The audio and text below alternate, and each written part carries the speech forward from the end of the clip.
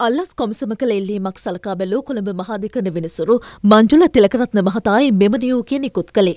අල්ලස් කොමිසම අධිකරණයට දැනුම් දී තිබුණේ රමිත් රඹුක්කැල්ල මහතා විසින් කොල්ලුපිටිය ප්‍රදේශයේ පිහිටි සුකෝපභෝගී නිවාස සංකීර්ණයක නිවාස දෙකක් රුපියල් මිලියන 80ක් සහ රුපියල් මිලියන 65 බැගින් මිලදී ගෙන තිබෙන බවයි. මේ සම්බන්ධයෙන් විමර්ශනයක් සිදු කරන බවත් ඊට අදාළව එම දේපල තහනම් කිරීමේ නියෝගයක් නිකුත් කරන ලෙසත් එම කොමිසම අද අධිකරණයෙන් ඉල්ලා සිටියා.